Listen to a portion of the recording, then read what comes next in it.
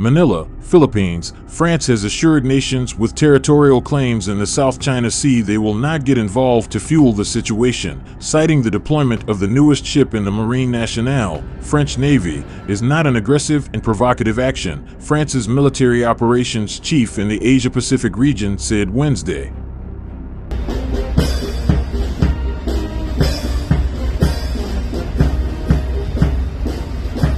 Rear Admiral Geoffrey Diendine, Joint Commander of the French forces in the Asia-Pacific, ALPACI, and Commander of the French Polynesia Maritime Zones, told reporters during a press briefing aboard the French destroyer Lorraine their presence in the South China Sea showed their support for liberty of navigation.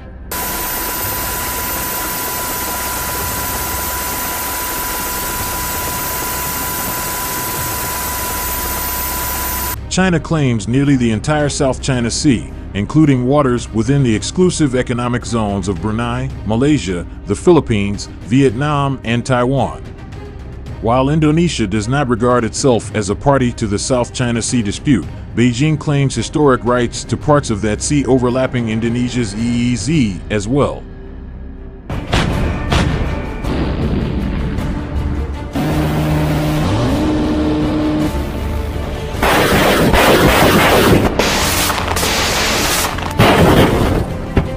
France is the only European Union country to conduct navigation in the Taiwan Strait or South China Sea.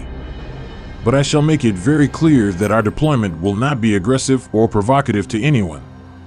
As stabilizing power, France does not in any way take part in territorial disputes and supports anytime dialogues.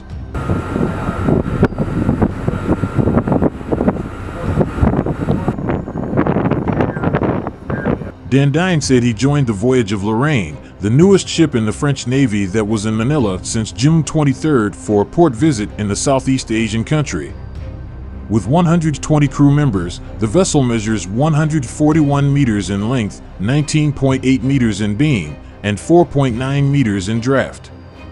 It boasts a range of 6,000 nautical miles, 11,000 kilometers, at a speed of 15 knots, 28 kilometers per hour.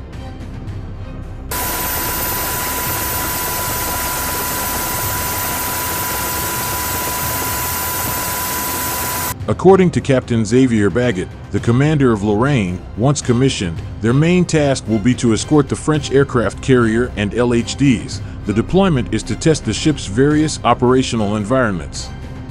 That is why we are coming here to integrate with different navies.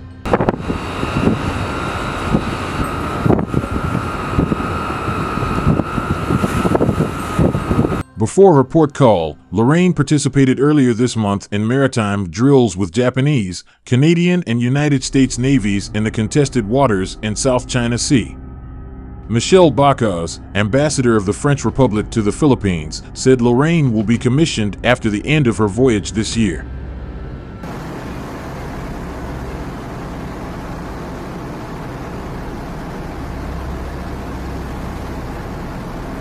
Before her port call, Lorraine participated earlier this month in maritime drills with Japanese, Canadian, and United States navies in the contested waters in South China Sea. Michèle Boccoz, ambassador of the French Republic to the Philippines, said Lorraine will be commissioned after the end of her voyage this year.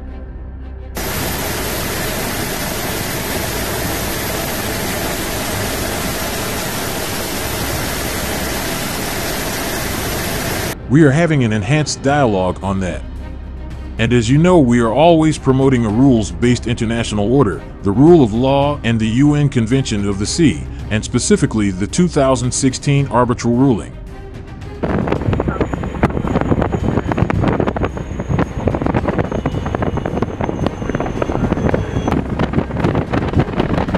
In 2016, the Permanent Court of Arbitration in The Hague ruled in favor of the Philippines in a complaint against China, saying there was no legal basis for Beijing to claim historical rights in the South China Sea.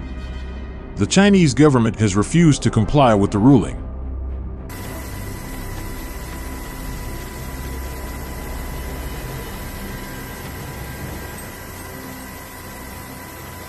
Since her arrival, officials have met Philippine defense leaders discussing how they will improve their capabilities. French and Filipino navies conducted a friendly match with Philippine Basketball Association team Blackwater Bossing.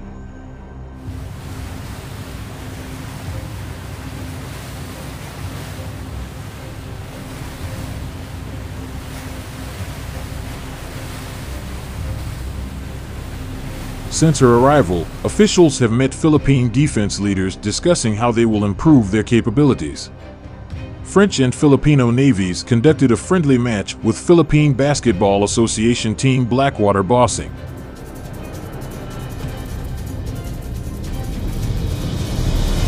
Since 2018, France implements an Indo-Pacific strategy reflecting its interests in the region. Promoting a non-confrontational approach, it aims at fostering multilateralism with regional partners, as well as protecting the rule of law and the UN Convention on the Law of the Sea. Economic development and the protection of global commons such as climate resilience, biodiversity, and health are among top priorities of this strategy.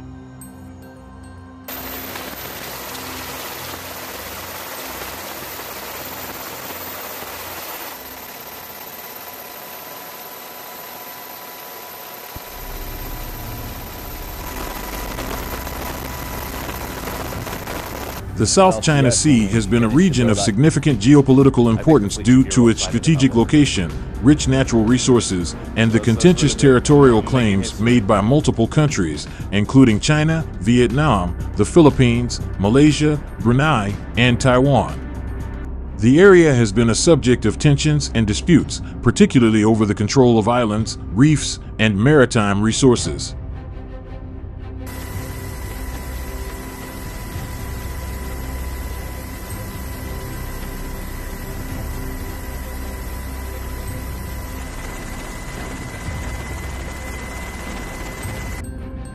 In the context of supporting the freedom of navigation in the South China Sea, some countries, including France, have expressed their commitment to upholding the principles of international law, including the United Nations Convention on the Law of the Sea, UNCLOS.